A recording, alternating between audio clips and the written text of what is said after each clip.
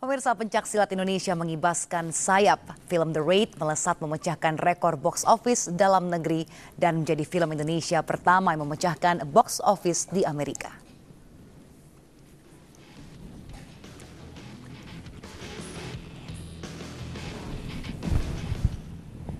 The Raid Redemption dirilis di seluruh dunia pada tanggal 28 Maret dan mencapai nomor 11 di box office Amerika pada awal April menarik lebih dari satu juta penonton.